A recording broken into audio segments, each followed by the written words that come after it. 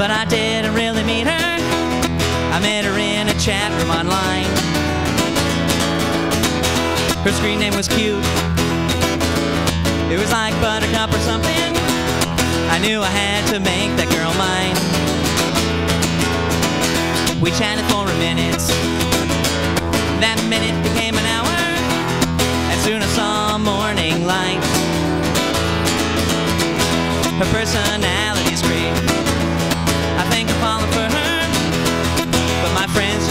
Think it's right.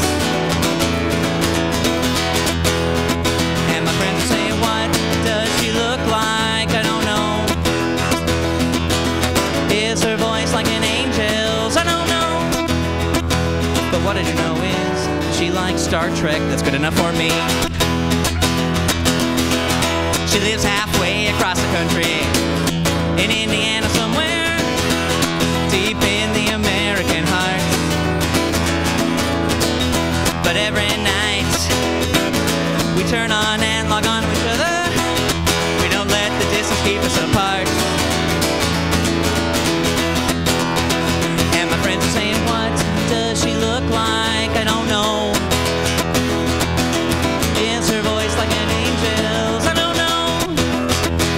But what I do know is that she likes the X Files. That's good enough for me.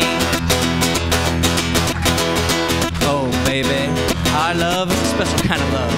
It's the kind of love not defined by candy, flowers, moonlit walks on the beach, which is good because I hate all that crap. No, our love is defined by the glow of the monitor, the tapping of the keys on the keyboard, the whizzing of the hard drive. So, baby, I'm sending you this email, asking you to be mine and mine alone. And if you agree, I want you to hit reply and send a message back. Baby, if you reply, oh, I'm gonna send you the web address of my heart. www.iloveyou.com. Well, soon the day came for us to meet face to face. Sitting there waiting felt like I would die.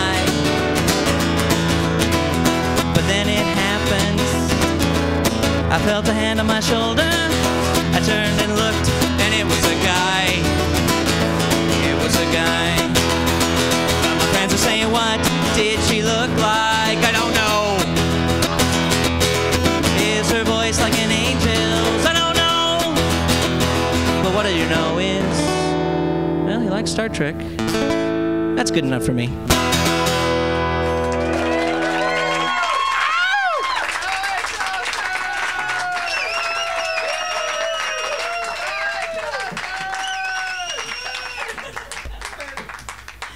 Thank you. Dirk's not coming. He's not going to be here. I'm sorry.